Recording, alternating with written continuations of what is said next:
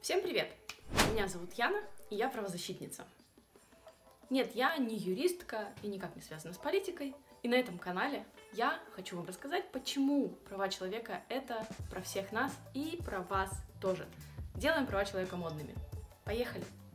Я работаю в белорусской правозащитной организации Human Constant.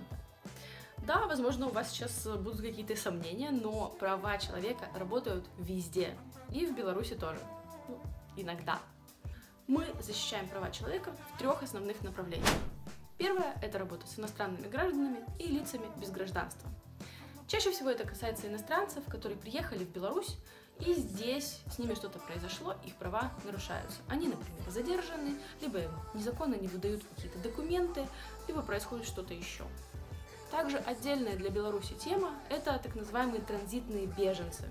Это те люди, которые через Беларусь пытаются попасть в Польшу и получить там международную защиту. Чаще всего эти люди приезжают в Брест и совершают множество попыток пересечь границу, пока их наконец-таки пустят в Польшу. В большинстве случаев это люди Северного Кавказа, России, но встречаются жители также других стран. Подробнее о беженцах я расскажу в следующем видео. Наша вторая тема – антидискриминация и неформальное образование в сфере прав человека. Мы проводим тренинги, воркшопы, лекции, игры и разные другие мероприятия. Права человека – это тренд, и мы обожаем про них рассказывать. Также мы продвигаем недискриминацию, инклюзию и толерантность. Кстати, футбол и права человека у нас тоже есть. И третья тема – это цифровые права. Моя самая любимая тема. Это все, что касается прав человека и современных технологий.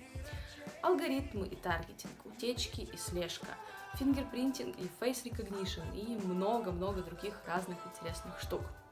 Ну, а как вы думали, технологии пришли в нашу жизнь, права человека пришли в технологии? Звучит классно? Обо всем этом и не только я буду рассказывать на этом канале Human Константа. Я хочу показать вам, что права человека это не про политику, не про другие страны или других людей, это про нас с вами. И это про ваше будущее и ваши возможности. Помните, все люди рождаются свободными и равными в своем достоинстве и правах. Увидимся!